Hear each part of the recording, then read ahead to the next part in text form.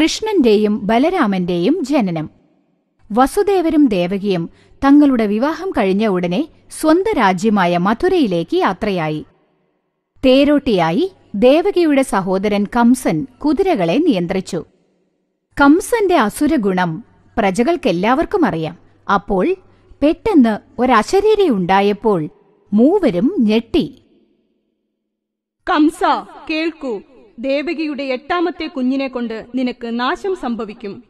ഈ അശരീരി കേട്ട് കംസൻ ഭയപ്പെട്ടു. ഉടനെ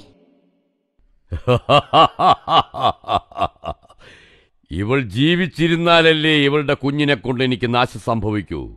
ഇവളെ ഇപ്പോൾ തന്നെ കൊന്നുകളയും.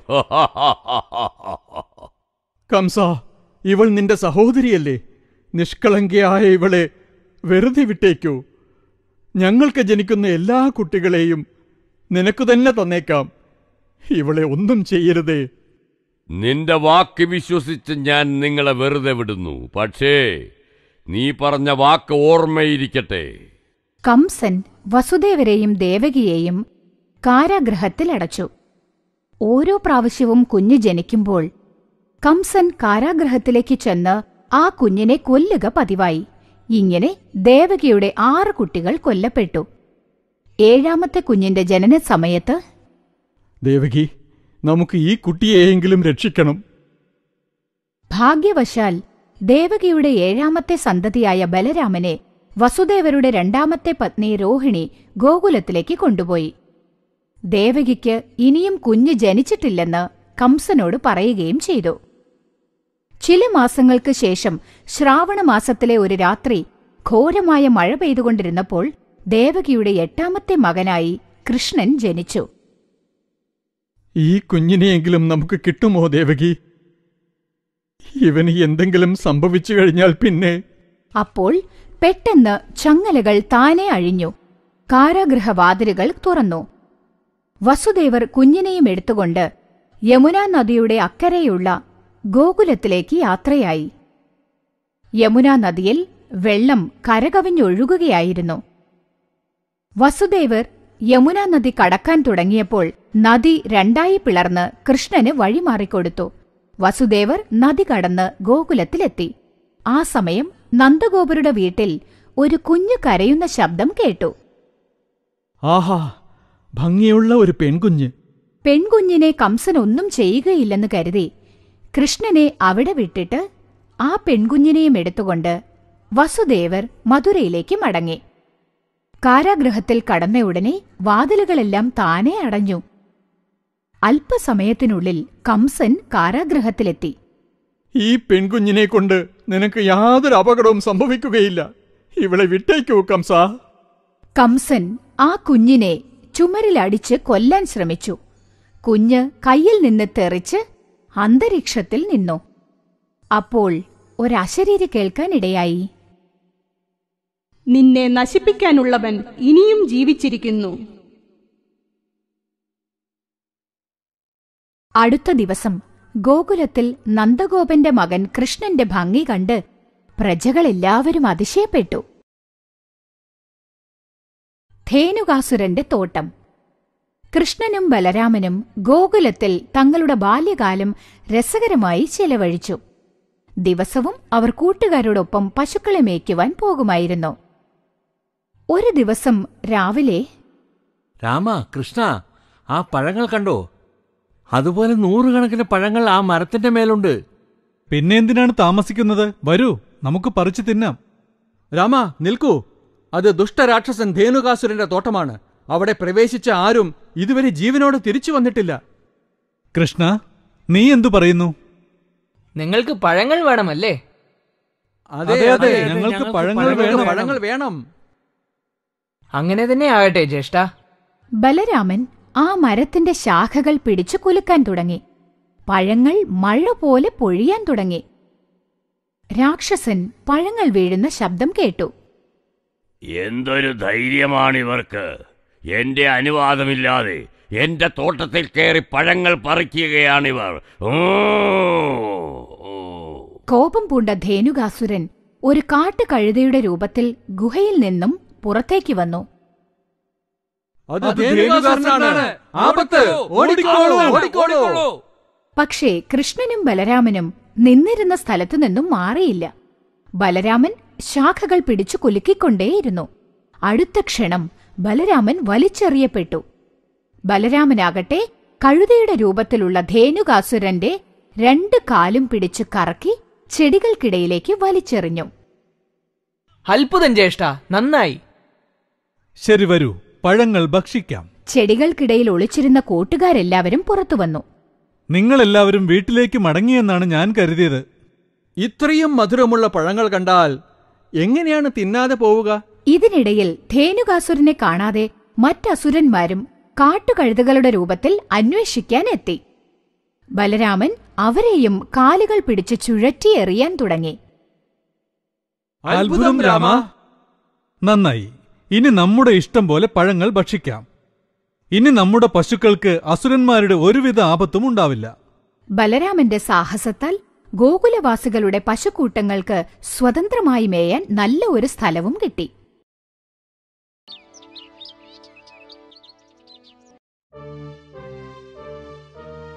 കംസൻ കൃഷ്ണന്റെ വീരസാഹസ കൃത്യങ്ങളെക്കുറിച്ച് അറിഞ്ഞു.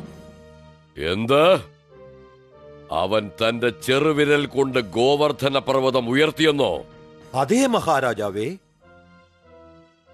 പിന്നെ എന്താണ് ഇത്രയും നാൾ അവന് ജീവനോടെ വിട്ടത്? പല വിധത്തിലും ശ്രമിച്ചു നോക്കി പക്ഷേ ശരി രണ്ട് ദിവസങ്ങൾക്കകം ഒരു വില്ലുകുലയ്ക്കൽ മത്സരമുണ്ടെന്ന് വിളംബരം ചെയ്യൂ. കൃഷ്ണൻ ഉൾപ്പെടെ എല്ലാവരെയും അതിനായി ക്ഷണിക്കോ. ശരി മഹാരാജാവേ. പക്ഷേ ഇവിടെ വരുന്ന കൃഷ്ണൻ ഒരു കാരണവശാലും ജീവനോടെ തിരിച്ചു പോകരുത്. അയാൾ പ്രദ്യോതയെ അയച്ച് ചാണൂരനെ വിളിപ്പിച്ചു. ചാണൂര! ഒരു പക്ഷേ പ്രദ്യോതയ്ക്ക് കൃഷ്ണനെ വധിക്കാനായില്ലെങ്കിൽ നീ അവനെ മല്ലയുദ്ധത്തിന് വിളിച്ച് നീ വധിക്കണം. ഇപ്പോൾ പൊയ്ക്കോളൂ. കംസൻ ഒരാന പാപ്പാനെ വിളിച്ചു. പ്രവേശന കവാടത്തിൽ നിൽക്കൂ. കൃഷ്ണൻ പുറത്തു വരുമ്പോൾ നിങ്ങളുടെ ആന അവനെ കൊല്ലണം. പിന്നീട് കംസൻ അകുരനെ വിളിപ്പിച്ചു. അകുര ഈ ലോകം കൃഷ്ണനെ പറ്റി അറിയണം.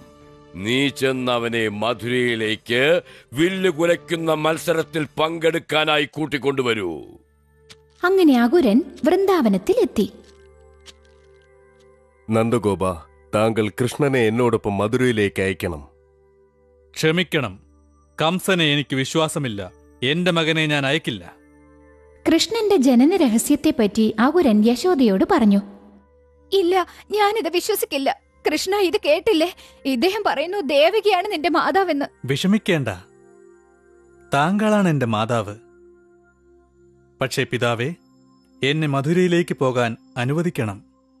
കൊള്ളാം കൃഷ്ണ ഞാൻ നിന്നോടൊപ്പം ഉണ്ടാവും. അടുത്ത ദിവസം രാവിലെ കൃഷ്ണനും ബലരാമനും മധുരയിലേക്ക് പുറപ്പെട്ടു. സൂക്ഷിക്കണം. വേഗം തിരിച്ചു വരണം.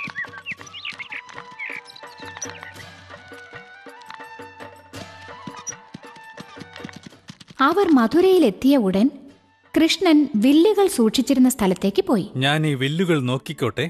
തീർച്ചയായും. അകത്തു വരൂ. എനിക്ക് നിന്നെ കൊല്ലണം. ഓ ഇതാണോ ആ വില്ല്? ഇതിന് വലിയ ഭാരമില്ലെന്ന് തോന്നുന്നല്ലോ. ഉണ്ട്. വല്യ മല്ലയുദ്ധവീരൻ ചാണൂരിന് പോലും ഇതെടുക്കാനായില്ല. അതെയോ? എങ്കിൽ ഞാനൊന്ന് നോക്കട്ടെ. കൃഷ്ണൻ ആ വില്ലെടുത്ത് ഉടച്ചു. കൃഷ്ണൻ വിജയിക്കട്ടെ. കൃഷ്ണൻ നമ്മെ രക്ഷിച്ചു. പ്രദ്യോത ഈ വാർത്ത അറിയിക്കാൻ കംസന്റെ അടുക്കൽ ചെന്നപ്പോൾ എന്ത്? അവൻ വില്ലൊടിക്കുന്നത് വരെ നീ കാഴ്ച കണ്ടു നിൽക്കുകയായിരുന്നു. എന്റെ ആജ്ഞ നീ മറന്നുപോയോ? ഇല്ല മഹാരാജാവേ ജനങ്ങൾ അവന്റെ ചുറ്റും കൂടിയപ്പോൾ എനിക്കൊന്നും ചെയ്യാൻ കഴിഞ്ഞില്ല. അടുത്ത ദിവസം രാവിലെ കൃഷ്ണൻ കൊട്ടാരവാതിൽക്കൽ എത്തിയപ്പോൾ ഒരാന ആക്രമിക്കാൻ തയ്യാറായി നിന്നിരുന്നു. പക്ഷെ കൃഷ്ണൻ അതിനെ ആകാശത്തിലേക്ക് വലിച്ചെറിഞ്ഞു. പിന്നീട് മല്ലയുദ്ധം നടക്കുന്ന സ്ഥലത്തേക്ക് പോയി. ആ കൃഷ്ണ ഞാൻ നിന്നെ പറ്റി കേട്ടിട്ടുണ്ട്. നീ മത്സരത്തിന് തയ്യാറാണോ? ഉം. ഞാൻ തയ്യാറാണ്. വരൂ തുടങ്ങാം. രണ്ടുപേരും യുദ്ധം ചെയ്തു. പക്ഷേ കൃഷ്ണൻ ചാണൂരനെ തറയിലിട്ട് അടിച്ചു കൊന്നു.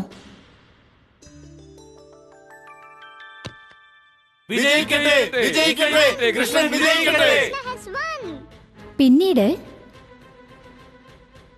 കൃഷ്ണൻ നേരെ കംസന്റെ അടുത്തേക്ക് ചെന്ന് അവനെ വധിച്ചു. ജനങ്ങൾ നിശബ്ദരായി നോക്കി നിന്നു. കൃഷ്ണൻ കംസന്റെ ശിരസിൽ നിന്ന് കിരീടമെടുത്തുകൊണ്ട് കാരാഗ്രഹത്തിലേക്ക് നടന്നു. പ്രണാമം മഹാരാജാവേ. കൃഷ്ണ. ഞാൻ താങ്കൾക്ക് അവകാശപ്പെട്ട കിരീടം കൊണ്ടുവന്നിട്ടുണ്ട്. വേണ്ട നീയാണ് ഇതിന്റെ ശരിയായ അവകാശി. താങ്കളാണ് അവകാശി ദയവായി സ്വീകരിച്ചാലും. ഇത് വെറും ഒരു ആരംഭം മാത്രം. എല്ലാ തിന്മകളെയും ഉന്മൂലനാശം ചെയ്യാനായി കൃഷ്ണൻ വളരെ കാലം ജീവിച്ചു. വിദർഭ രാജാവ് ഭീസ്മകന് രുക്മി എന്നു പേരുള്ള ഒരു പുത്രനും രുക്മിണി എന്നു പേരുള്ള ഒരു പുത്രിയും ഉണ്ടായിരുന്നു. ഒരു ദിവസം രാജകുടുംബാംഗങ്ങൾ ഒരുമിച്ചിരിക്കുമ്പോൾ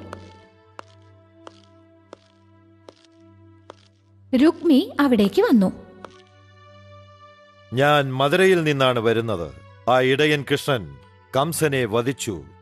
അവനും ബലരാമനും ദേവകിയുടെ പുത്രന്മാരാണ്. അവർ രണ്ടുപേരും ഗോകുലത്തിൽ ഒളിച്ചിരിക്കുകയാണ് എത്രയൊക്കെ പരിശ്രമിച്ചിട്ടും ആ അശരീരി യാഥാർത്ഥ്യമായി. അവൻ സത്യത്തിൽ ദൈവികതയുള്ളവനാണ്. അപ്പോൾ അദ്ദേഹം ഒരു ഇടയനല്ല ഒരു ദൈവിക പുരുഷനാണ്. രുക്മിണി അവൻ എന്റെ സുഹൃത്തിനെ വധിച്ചവനാണ്. അവനെ നീ പുകഴ്ത്തി പറയുന്നുവോ? കംസൻ അവന്റെ പിതാവിനെ കാരാഗ്രഹത്തിൽ അടച്ചവനാണ് അപ്പോൾ കൃഷ്ണൻ രാജാവായി അഭിഷേകിക്കപ്പെട്ടോ? ഇല്ല. അവൻ വീണ്ടും ഉഗ്രസേനനെ കിരീടമണിയിച്ചു എന്ത്? കിരീടം നിരാകരിച്ചോ? അതെ. ഇതെല്ലാം കേട്ടുകൊണ്ടിരുന്ന രുക്മിണിക്ക് കൃഷ്ണനെ വിവാഹം കഴിക്കണം എന്ന് തോന്നി. അതേപോലെ കൃഷ്ണനും രുക്മിണിയെ വിവാഹം കഴിക്കാൻ ആഗ്രഹിച്ചു. ഒരു ദിവസം പൂന്തോട്ടത്തിൽ വെച്ച് അദ്ദേഹം അദ്ദേഹം മാത്രമായിരിക്കും എന്റെ പതി. രുക്മിയെയും പിതാവിനെയും കണ്ട രുക്മിണി അവിടെ ഒളിച്ചു നിന്നു. രുക്മി നിന്റെ മാതാവ് രുക്മിണിയെ കൃഷ്ണന് വാങ്ങിച്ചു കൊടുക്കാൻ ആഗ്രഹിക്കുന്നു. ഇതെങ്ങനെ സാധ്യമാകും പിതാവേ? അവൻ എന്റെ സുഹൃത്തിനെ വധിച്ചവനല്ലേ? ദയവ് ചെയ്ത് തടയരുത്. ശരി. നിന്റെ മനസ്സിൽ ആരെങ്കിലും ഉണ്ടോ? ഉണ്ട്. എന്റെ സുഹൃത്ത് ശിശുപാലൻ ചേടി രാജകുമാരൻ. ശരി. നിന്റെ ഇഷ്ടം പോലെ നടക്കട്ടെ. എന്താണിത്? സ്വയംവരത്തിന് പോലും ഏർപ്പാടുകൾ ചെയ്യാതെ ഇവർ സ്വയം തീരുമാനിച്ചല്ലോ? ഒരു തീരുമാനത്തിലെത്തിയ രുക്മിണി കൊട്ടാരത്തിൽ തിരിച്ചെത്തി. വിശ്വസ്തനായ പണ്ഡിതൻ സുനന്ദനെ വിളിപ്പിച്ചു.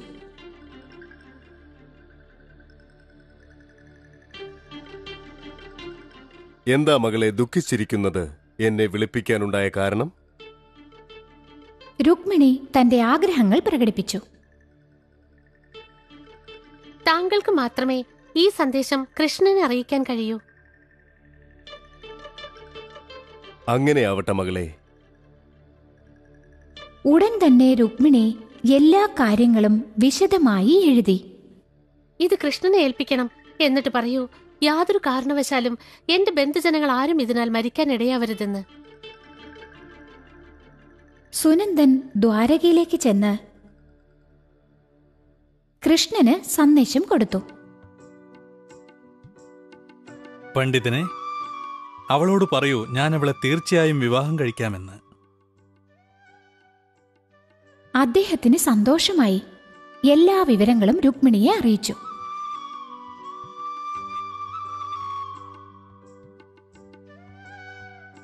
സുനന്ദൻ പോയതിനു ശേഷം കൃഷ്ണൻ ബലരാമനെ സമീപിച്ചു. എനിക്ക് വിദർഭ രാജ്യത്തേക്ക് പോകണം ജ്യേഷ്ഠ.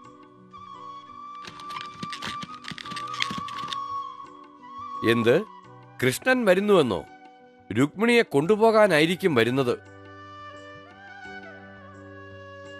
സ്വാഗതം സ്വാഗതം. കൊട്ടാരത്തിലേക്കുള്ള വഴിമധ്യേ കൃഷ്ണൻ ഒരു രാജകീയ ക്ഷേത്രം കണ്ടു. രുക്മിണി എഴുതിയിരുന്ന ക്ഷേത്രം ഇതായിരിക്കുമോ? രുക്മിണി അപ്പോൾ ക്ഷേത്രത്തിൽ നിന്ന് പുറപ്പെടുകയായിരുന്നു. അതേസമയം കൃഷ്ണന്റെ വരവിനെപ്പറ്റി അറിഞ്ഞ രുക്മിണി ക്ഷേത്രവാതിൽക്കൽ അദ്ദേഹത്തോടൊപ്പം പോവാൻ തയ്യാറായി നിന്നു. എവിടെ? കൃഷ്ണനെ കാണുന്നില്ലല്ലോ. വ്യസനം പൂണ്ട രുക്മിണി ക്ഷേത്രത്തിൽ ചെന്ന് പ്രാർത്ഥിച്ച് പുറത്തു വന്നപ്പോൾ എന്താണിത്? ഇനിയും വന്നില്ലല്ലോ. ഞാനിപ്പോൾ തിരിച്ചു പോകണോ? അവൾ രഥത്തിന്റെ പക്കൽ ചെന്നപ്പോൾ ഒരു കൈ അവളെ സ്പർശിച്ചു. തിരിഞ്ഞു നോക്കി അവളുടെ മുഖം സന്തോഷഭരിതമായി. രുക്മിണി ഇത് ഞാനാണ് കൃഷ്ണൻ. ഉടൻ തന്നെ രുക്മിണി രഥത്തിൽ കൃഷ്ണന് സമീപം കയറിയിരുന്നു. രുക്മിണി നിൽക്ക് നിൽക്ക്. രുക്മി പിന്തുടരുമ്പോഴേക്കും കൃഷ്ണന്റെ രഥം അതിവേഗം പാഞ്ഞു. രണ്ടുപേരും തമ്മിൽ നടന്ന യുദ്ധത്തിൽ രുക്മി പരാജയപ്പെട്ട് തിരിച്ചു വന്നു. കുറച്ചു ദിവസങ്ങൾക്ക് ശേഷം കൃഷ്ണനും രുക്മിണിയും തമ്മിലുള്ള വിവാഹം ആർഭാടപൂർവം നടന്നു.